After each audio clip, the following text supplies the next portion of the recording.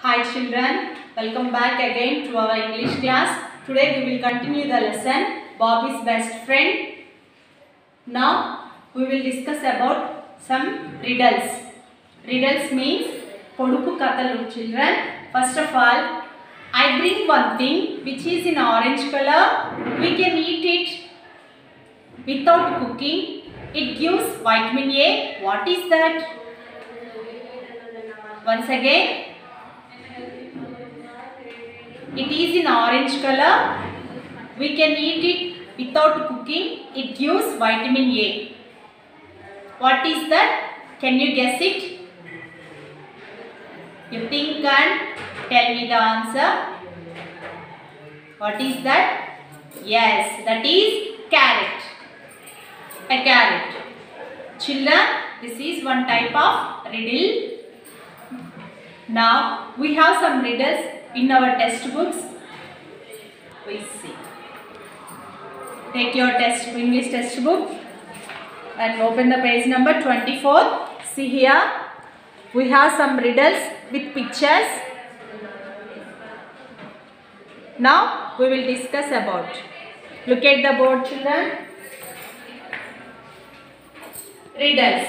Riddles means పొడుపు కథలు Okay children. I love flowers. I take their juice to make honey. Who am I? Observe thi- this picture. I love flowers. I take their juice to make honey. Who am I? Honey bee. I am hot. You sip me. What am I? Tea or coffee? Okay, children. Next one. I am an animal. I am white. I give wool. Who am I? Sheep. I make waves. I give shells. What am I? Sea. Once again, I love flowers.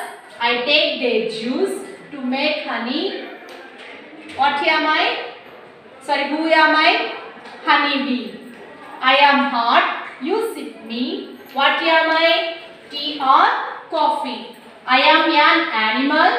I am white. I give wool. Who am I? Sheep. I make waves. I give shells. What am I? Sea. Okay, children.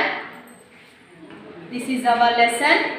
You also learn some riddles from your parents or books. Okay. We will meet another class.